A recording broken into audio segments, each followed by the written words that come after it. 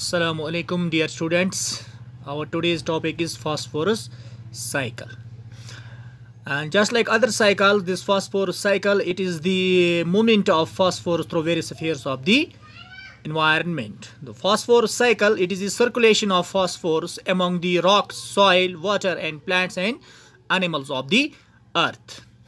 Human beings and all other organisms must have phosphorus to live because this phosphorus uh, it is a part of their DNA, RNA, uh, vital components that are uh, present in the cells. It forms a part of these uh, components. In nature, most phosphorus occurs in phosphate rock, which contains phosphate ions, uh, combined with calcium, magnesium, chlorine, and fluorine.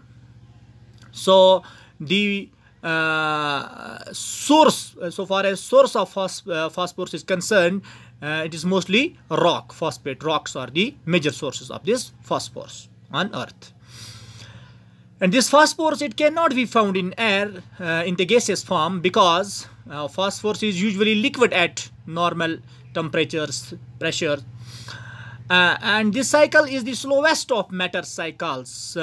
This phosphorus it is most commonly found in rock formations and ocean sediments as phosphate salts.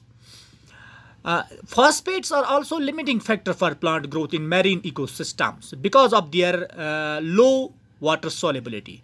These phosphates are uh, not very soluble in water therefore it becomes these phosphates become a limiting factor for plant growth in marine ecosystems.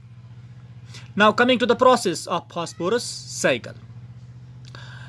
Mm, this cycle basically starts out in the earth soil. The soil contains phosphates and when uh, something grows out of the soil, uh, it should have phosphate as well. When the plants grow, they are consumed by herbivores and omnivore animals. These animals uh, or animal waste or the animal bodies, when die, uh, it becomes detritus. So their body becomes detritus. This detritus is non-living organic uh, material. Uh, when the detritus go deep into the soil, deteriorates in the soil, decompose and become the soil phosphate and the cycle repeats again and again. Uh, another example of this phosphorus cycle is when rocks are created. Uh, the phosphate in the soil moves on and transfers its phosphate to the rocks under water. When the uplifting of the rocks occur, it takes the phosphate along with it. Uh, after that, the weathering of the rocks occur and the rocks begin to break down into the soil and the phosphate in the rocks ends up in the soil again and this uh, cycle repeats. Now coming to the various steps that are involved in this phosphorus cycle. Uh, step number first it is weathering. Since the main source of phosphorus is found in rocks, the first step of the phosphorus cycle involves the extraction of phosphorus from the rocks by weathering.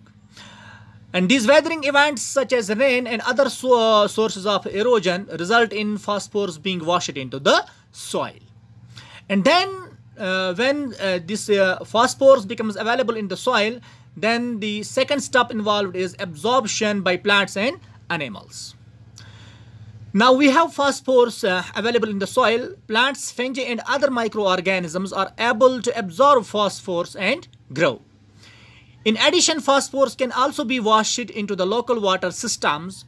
Uh, plants can also obtain phosphorus directly from water and grow. In addition to plants, animals can also obtain phosphorus from drinking water and eating plants. And then next step is return to the environment via decomposition.